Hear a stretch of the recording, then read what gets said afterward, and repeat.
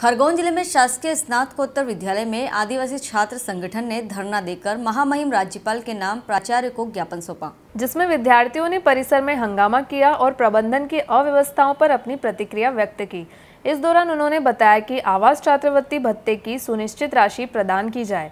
वहीं कन्या महाविद्यालय की छात्राओं ने बताया कि कॉलेज जाने में भय की स्थिति बनी है, जिसमें शासन प्रशासन स्तर पर सुविधा मुहैया कराई जाए। खरगोन से जयंत गुप्ता की रिपोर्ट। बढ़ाई जाए, घटाई ना जाए, क्योंकि रूम किराया भी बढ़ चुके हैं। हमने लॉकडाउन का भी किराया भरा है।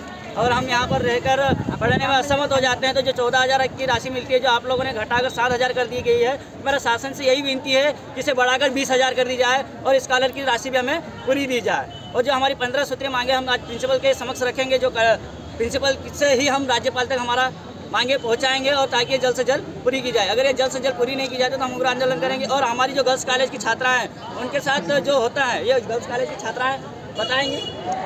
तुम्हारा नाम क्या है? मेरा नाम भागीरथ खतवास है, पीजी कॉलेज में एम एल का छात्र गर्ल्स कॉलेज की लड़कियाँ हैं? सर, हमें यहाँ से पैदल जाना पड़ता है, कोई सुविधा नहीं है। सर, रिक्शे में हम जाते हैं, वो भी असुविधा है। रिक्शे में इतने सारे लड़कियों को घुसा देते हैं, ज़बरदस्ती दरवाजे पे बिठा बिठा के ले जाते हैं। और व्यवस्था नहीं है, जब तक भरता नहीं रिक्शा, जब तक वो लेने जाता है। हमारी सुविधा कराई जाए जल्दी से जल्दी और हमारी मांगे पूरी करी जाए सर। और हमारे लिए फ्री निःशुल्क सुविधा करी जाए। किराया लड़कियों के पास नहीं है क्योंकि वो गरीब घर से है सर। पैदल जाती है लड़कियाँ और हमारे रास्ते में जाने आने के लिए कोई कैमरा भी नहीं लगा हुआ।